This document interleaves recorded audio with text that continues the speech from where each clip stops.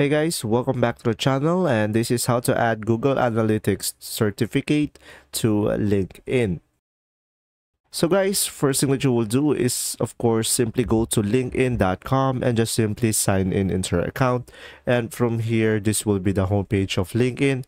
So from here just simply click on your profile on the top right over here or the me icon and a drop down will show up and just simply click on view profile over here.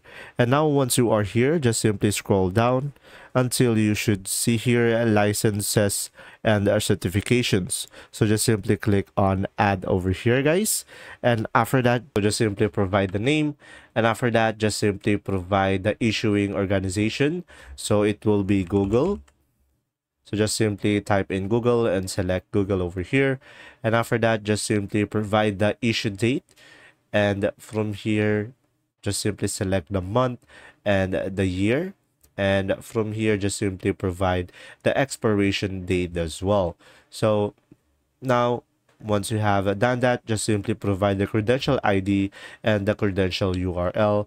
And after that, you can just simply add skills over here if you have, or add media if you have, and just simply click on the save over here.